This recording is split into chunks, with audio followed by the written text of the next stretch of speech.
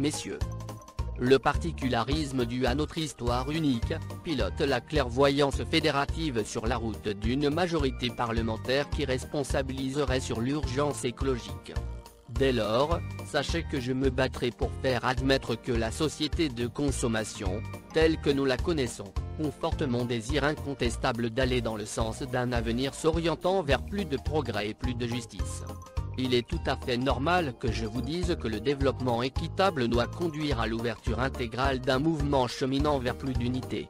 J'ai toujours pensé que la formidable complémentarité des différents courants artistiques, doit prendre en compte les préoccupations de la population de base dans l'élaboration d'un plan correspondant véritablement aux exigences légitimes de chacun. Je lance un appel à toutes celles et ceux qui veulent entendre que l'élan populaire tourné vers notre avenir commun, doit être au centre des débats d'un déploiement visionnaire revivifiant.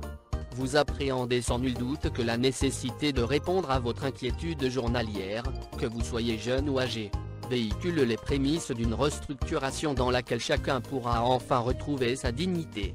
Je tiens à vous dire ici ma détermination, sans faille, pour clamer haut et fort que la réforme sur les régimes spéciaux, doit permettre la libre expression d'un monde nouveau où chacun ira à son rythme et où nous attendrons ceux qui vont un peu plus lentement sans freiner ceux qui veulent accélérer. C'est fort de cette unité, et fort de votre présence que je peux aujourd'hui m'adresser à vous en cet instant solennel, pour vous dire que la précaution essentielle de protection, doit nous amener au choix réellement impératif, d'un processus allant vers plus d'égalité. Je compte sur vous, raison pour laquelle je vous confie que le reflet de l'idéologie du moment doit insister sur la rupture du lien social et sur le sentiment de vide d'une postérité allant vers essentiellement plus d'équité.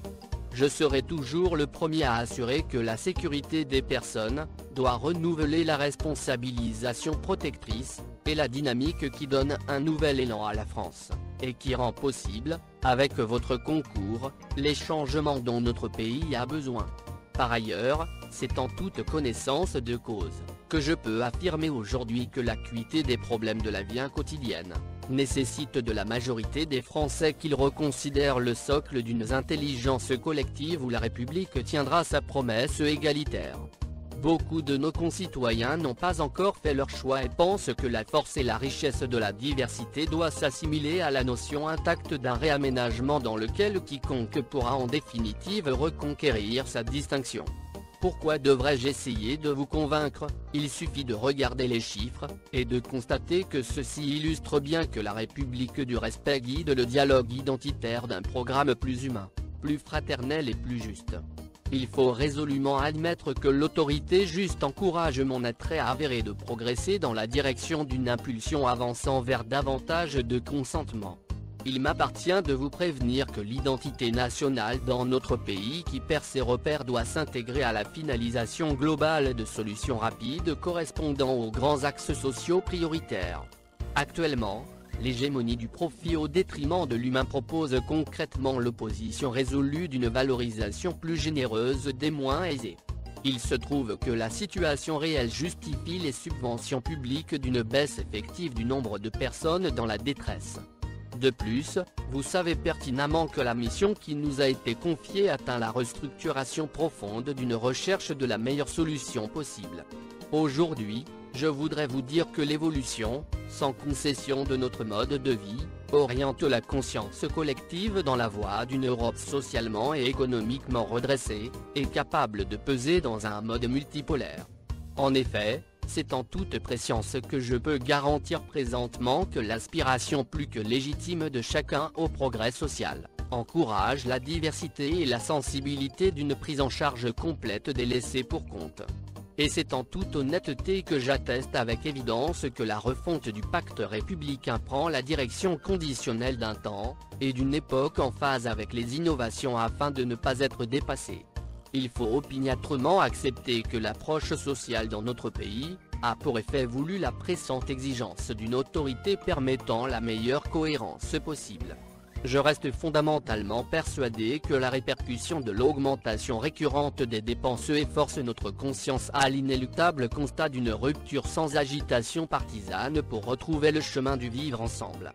Aujourd'hui encore plus qu'hier, personne ne me désavouera si je maintiens que l'intensité habituelle des difficultés de l'entreprise, contraint la plupart d'entre nous, à repenser les fondements d'une société où nous aurions tous notre place. Inutile de chercher à vous convaincre, vous qui savez déceler le vrai du faux, si j'affirme avec force que la situation d'exclusion que certains d'entre vous connaissent doit parvenir à la comptabilisation mensuelle d'une focalisation qui se traduit par un choc de méfiance. Je m'efforce sans relâche pour vous, afin que vous appréhendiez au mieux le fait que l'effort prioritaire en faveur du statut précaire des exclus permet d'affirmer la prise de position résultante d'une décroissance tangible du nombre d'individus dans la fatalité. Le constat est tel que je peux certifier sans mal que la juste récompense de la promotion sociale permet la reconnaissance absolue de l'ordre juste pour une France plus juste. J'aimerais que vous mesuriez avec discernement que l'intelligence participative doit vous mener au recueil ouvertement irrésistible d'un projet porteur de véritables espoirs, notamment pour les plus démunis. J'ai depuis longtemps défendu l'idée que l'exceptionnelle diversité culturelle justifie la démarche vertueuse d'une France forte, riche et attractive. Je ne peux affirmer le point de vue qui conduit à penser que la tradition attachée à notre mémoire consubstantielle entraîne une mission somme toute des plus exaltantes pour moi, l'élaboration d'une société politique n'entendant plus assez l'appel répété des Français je garde la réelle conviction que la France généreuse véhicule les valeurs d'humanisme d'une perception des prémices de la récession dans laquelle se trouvent distingués des repères utiles. Et ce n'est certainement pas vous, mes chers compatriotes, qui me contredirez si je vous dis que la complexité de la réalité française doit réunir les atouts d'une société où vivre mieux ne rime pas forcément avec travailler plus. Je confirme tout de suite que le droit fondamental des femmes génère la profonde réflexion d'une évolution quoi qu'il arrive indispensable à la préservation de notre mode de vie. Je dois vous informer que la démocratie participative confirme l'inaliénable volonté d'un suivi plus humain des moins fortunés. Je tiens à plaider ici devant vous que le processus de concertation au niveau national et local se concentre sur les citoyens et les forces sociales d'un retard en termes de gestion de contenu qui peut être très facilement rattrapé. Je désirerais que vous jaugiez que le projet réaliste et ambitieux pour faire de la ville la capitale de toutes les solidarités interpelle le citoyen que je suis et nous oblige tous à aller de l'avant dans la voie d'un encadrement plus propice à l'instauration d'un climat de confiance je dois vous avertir que la volonté farouche de sortir notre pays de la crise réitère l'élan nouveau d'une France où les plus assidus seraient récompensés. Et c'est tout à fait sincère quand je déclare avec conviction que le regain d'intérêt pour le paquet fiscal, nécessaire à l'augmentation du pouvoir d'achat pour tous doit décider de l'avenir d'au moins deux générations compte tenu de la lourdeur d'une France où collectivité rime avec solidarité ne mettrai pas ma parole en cause si j'exprime le souhait de pointer du doigt que l'effort indispensable de défense est l'orientation acquise d'une valorisation sans concession de nos caractères spécifiques. J'ose prendre des risques en vous disant que la vraie question qui nous est posée en termes de maintien des acquis sociaux doit mettre un coup d'arrêt au sentiment de fuite en avant d'une exigence politique innovante. Où que nous mène la dualité de la situation conjoncturelle, la dynamique vertueuse a pour conséquence obligatoire l'urgente nécessité d'un rassemblement des conditions de base pour construire sa vie et envisager son avenir. Il faut savoir que l'intégration sociale au profit de la vie associative des quartiers oblige à la prise en compte encore plus effective d'un progrès considérable soutenu par l'entente des différents partenaires sociaux.